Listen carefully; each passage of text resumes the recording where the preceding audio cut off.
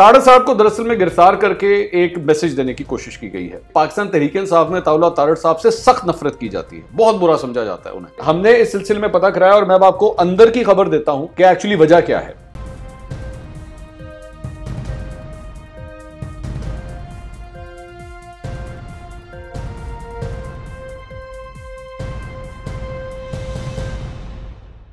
असल नाजीन मैं हूँ मंसूर अली खान। अपने यूट्यूब चैनल के ऊपर आपको खुश आमदीद कहूँगा। सबसे पहले आपसे दरख्वास्त के चैनल को सब्सक्राइब करना मत भूलिएगा और बेल आइकन ज़रूर प्रेस कीजिएगा। नाजीन ज़मनी इंतबात होने जा रहे हैं उन्नीस फरवरी को और दो जगहों के ऊपर बड़े इंपॉर्टेंट ये इलेक्शन हैं एन ए पचहत्तर और पी पी इक्यावन। दोनों पंजाब के ये हल्के हैं, डस्का और वजीराबाद का ये इलाका है, जहाँ पर ये मार्का लड़ा जाएगा। इस सिलसिले में जो डेवलपमेंट हुई है, वो उस पर मैं आता हूँ कि अताउल्ला तारड़ साहब, जो कि मुस्लिम लीग नून के एक सीनियर रहनुमा है टॉक शोज़ में भी अक्सर आप उनको देखते हैं, उन्हें गिरफ़्तार कर लिया गया और गिरफ़्तार करने के बाद उन्हें रिहा भी कर दिया गया। अब जारी बात है, मुख्तलिफ़ उसकी कानूनी वजूहत तो हैं ही जो हुकूमत है, हुकूमत पंजाब जो है, वो उसकी चंद रीजंस तो आपको देगी, लेकिन हमने इस सिलसिले में पता कराया और मैं अब आपको अंदर की खबर देता हूँ कि एक्चुअली वजह क्या है। इस सारे मामले को, इस सारे ये जो जो कुछ भी हुआ है, इसकी असल वजह क्या है? सबसे पहले मैं आपको ये बता दूँ कि इस वक्त जब ये अताउल्ला तारड़ को गिरफ़्तार किया गया तो वो पीपी इक्यावन के हल्के के अंदर मौजूद थे और वहाँ पर तरत चीमा साहिबा, जो कि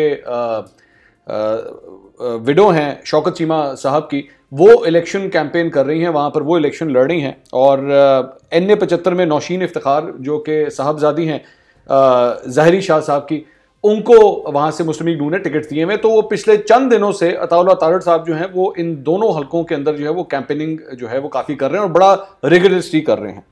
अच्छा मैं आपको ये बताऊँ कि अताउल्ला तारड़ साहब से मेरी कल फ़ोन के ऊपर मेरी बात हुई थी और मुझे ये पता लगा था कि उनकी तबीयत ठीक नहीं है। वो कुछ बीमार हैं।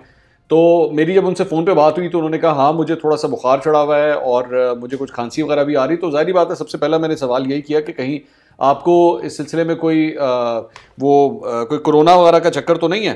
तो उन्होंने सबसे पहले यही कहा कि नहीं, कोरोना की बात नहीं है। मैं वो मैंने टेस्ट वगैरह करा लिया है, उसका रिज़ल्ट भी या तो आज शाम तक आ जाएगा या आज आ चुका होगा, मुझे इसका नहीं पता। बहरहाल मेरी कल इनसे सिलसिले में बात हुई तो उन्होंने कहा, मैं बहुत बिज़ी हूँ और ये जो कैंपेनिंग का सिलसिला है, मैं उसके अंदर बहुत ज़्यादा बिज़ी हूँ। अताउल्ला तारड़ साहब को आज जब गिरफ़्तार किया गया, ये वीडियो भी आप स्क्रीन के ऊपर इस वक्त देख रहे हैं, ये हर जगह सर्कुलेट भी कर रही है। तो पुलिस वैन के अंदर उनको डाला गया। मैं आपको तारड़ साहब के हवाले से जो पंजाब हुकूमत है पीटीआई के अंदर ये मैं आपको बता दूँ कि पाकिस्तान तहरीक साहब में ताउला तारड़ साहब से सख्त नफरत की जाती है। बहुत बुरा समझा जाता है उन्हें। और इस हद तक नफरत की जाती है कि मैं आपको छोटा सा एक वाक्य कोट कर देता हूँ, जो मुझे जिस वाक्य का मुझे पता है, वो वाक्य क्या पेश आया था कि एक टॉक शो के अंदर अताउल्ला तारड़ साहब जो हैं, वो जब पाकिस्तान तहरीक इंसाफ के एक रहनुमा के साथ बहस मुबासा चल रहा था और पाकिस्तान तहरीक इंसाफ के कोई रहनुमा उसका जवाब नहीं दे पा रहे थे। बड़ा डिफ़िकल्ट सिचुएशन हो गई थी। तो प्रोग्राम जब ख़त्म हुआ तो इतनी ज़्यादा गर्मी सर्दी हो गई थी प्रोग्राम ख़त्म होने के बाद भी कि पाकिस्तान तहरीक इंसाफ के वो जो रहनुमा थे, उन्होंने यहाँ तक कह दिया कि मेरा बस नहीं चल रहा कि मैं आपके मुँह पर थप्पड़ दे मारूँ। अताउल्ला तारड़ साहब को उन्होंने बात कही। तो तारड़ साहब से मतलब जो नफरत है हुकूमती अरकान की और पाकिस्तान तहरीक इंसाफ के लोगों की, उसका आप अंदाज़ा इस बात से लगा सकते हैं। अब आ जाए, तारड़ साहब को दरअसल में गिरफ़्तार क्यों किया गया? तारड़ साहब को दरअसल में गिरफ़्तार करके एक मैसेज देने की कोशिश की गई है। मैसेज क्या है कि ये जो दोनों जो हल्के हैं, जहाँ पे कैंपेनिंग चल रही है, और तारड़ साहब वहाँ पे बड़े एक्टिव हैं उसमें एक रीजन तो ये है कि लीग नून को जो है वो बड़ी एक कंफर्टेबल पोजीशन वहाँ पे मिल रही है। और ये बात पाकिस्तान तहरीक इंसाफ के अपने लोगों ने मुझे कही है।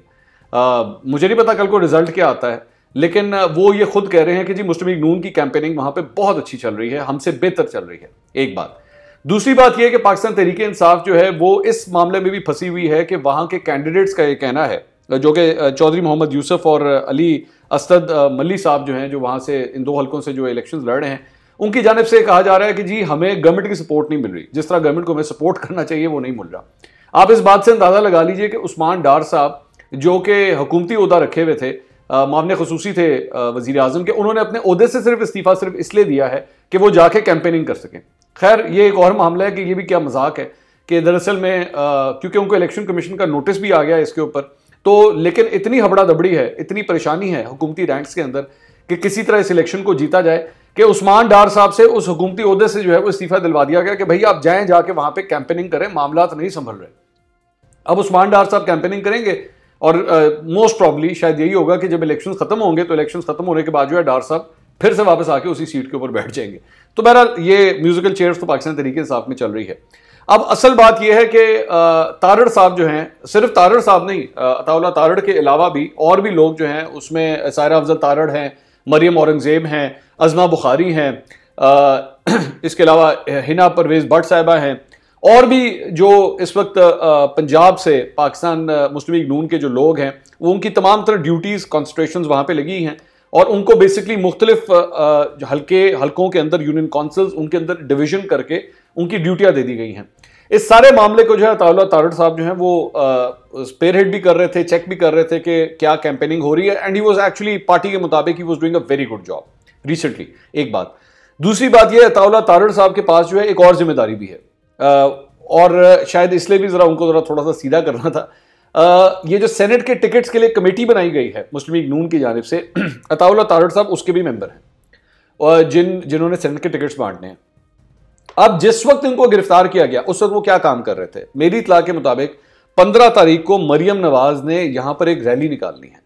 और उस रैली की जो रूट डिस्क्रिप्शन थी और रूट सिक्योरिटी थी, इन सारे मामला को उस वक्त अताउल्ला तारड़ जो है वो चेक कर रहे थे कि दरअसल में इस रैली का रूट क्या होना चाहिए, क्या सिक्योरिटी प्रोटोकॉल्स ठीक हैं या नहीं है। ये हमेशा होता है कि जब भी पार्टी का कोई लीडर जो है वो किसी जगह पे जाता है तो उससे पहले जो है वो दीगर कायदीन जाते हैं, वो इंतज़ाम वगैरह देखते हैं।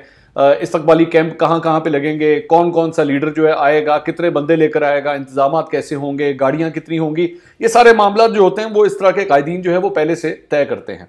अताउल्ला ताड़ साहब आज ये काम कर रहे थे।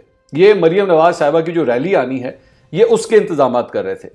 ये बेसिकली इनको ये जो गिरफ़्तार किया गया है, ये गिरफ़्तार करने का मकसद जो था, वो बेसिकली एक उनको वो भी देना था, एक सिग्नल भी देना था कि जनाब ये आप, ये जो कुछ भी कर रहे हैं, आप ये मत समझिएगा, इतने आराम से। अच्छा इसके ऊपर जो पाकिस्तान तरीके इंसाफ, जो ऑफिशियल वर्जन ले रही है, वो ये कह रही है कि नहीं जनाब, इनको गिरफ़्तार गिरफ्तूर किसी ने नहीं किया, ये खुद आके मोबाइल पुलिस के अंदर आके बैठ गए थे। एक ये वर्जन भी है।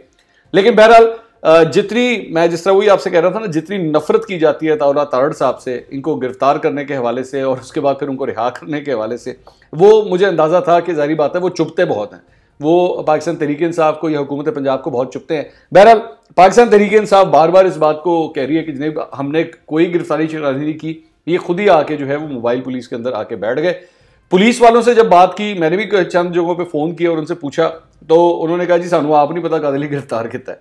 बहरहाल, ये अजीब वाक्य है कि एक आदमी आके मोबाइल पुलिस में आके बैठ गया और मोबाइल पुलिस लेके भी चली गई और उसके बाद पुलिस जो है कहती है, हमने तो गिरफ़्तार नहीं किया। मतलब कोई भी शख्स आके आपकी गाड़ी में आके बैठ जाए, आप उनको ले जाए और आप उनको कहेगी जी, हमने तो आपको गिरफ़्तार नहीं किया। बहरहाल सिचुएशन जो थी, जो अपडेट्स आई थी, मैंने सोचा आपके साथ शेयर कर दूँ। अगले वीलॉग में दोबारा मुलाकात होगी। अल्लाह हाफ़